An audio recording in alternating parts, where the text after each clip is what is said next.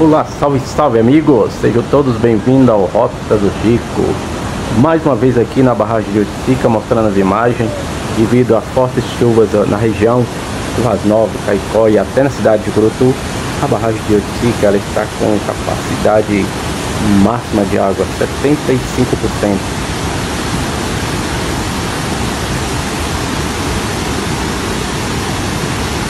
trecho aqui de filmagem foi filmado num pôr do sol pôr do sol lindo, passando a água por cima do paredão. Vejam que faltam mais ou menos 23 degraus para subir, para completar.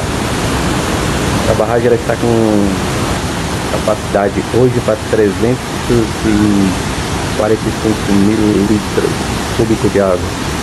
Quando ela for fechada completamente, vai ser para 500 mil litros cúbicos de água.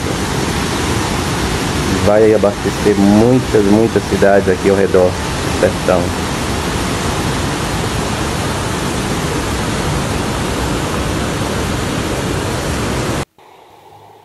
Aqui nós temos a estiva, mostrando as imagens da estiva. Ela liga, atravessa, ela passa no meio do Rio Piranhas. Como olha só como está de água. Ela atravessa para sentido sítio do Braz, eu acho que é isso. São Braz, isso. Estiva passa para outro lado do São Braz.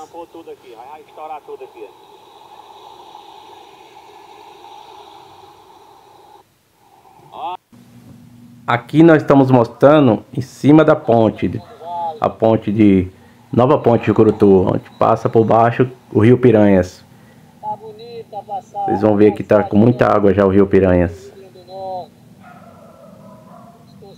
Olha isso, muita água no Rio Piranhas. É isso aí pessoal, até mais, Deus abençoe cada um de vocês.